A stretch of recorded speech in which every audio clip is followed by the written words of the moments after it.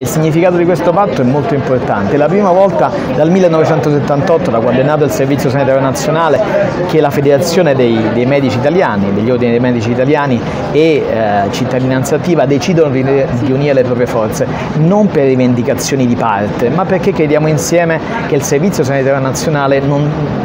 diciamo, non sia qualcosa che va commemorato, ma va celebrato, perché è l'architrave su cui si costruisce e si riconsolida la coesione sociale del nostro Paese. Garantire l'esigibilità dei diritti è qualcosa che è molto concreto e dà ad esempio eh, la possibilità ai cittadini di avere uguali diritti ovunque essi abitino, che non è un problema solo tra chi abita al nord e chi abita al sud, ma anche all'interno delle stesse regioni, le stesse regioni del nord ad esempio, perché quando ti trovi in un paese che ha 20 giorni liste d'attesa per una mammografia in una parte del paese e 200 giorni in un'altra, vuol dire che il diritto semplicemente è un diritto di carta. E noi non vogliamo che questo sia, vogliamo che i diritti siano garantiti e vogliamo non solo che questo lo sia per i cittadini, ma ad esempio vogliamo che ci sia il diritto ai professionisti della sanità, ai medici che operano nel Servizio Sanitario Nazionale di poterlo fare al meglio delle proprie possibilità, colmando le carenze di organico, dando le dotazioni tecnologiche e strutturali che gli permettono di fare al meglio il loro dovere, che è prendersi cura della salute di tutti noi.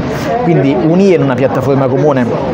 queste esigenze è un modo anche simbolico per sottolineare che ci si prende cura insieme del Servizio Sanitario Nazionale, che è un bene comune.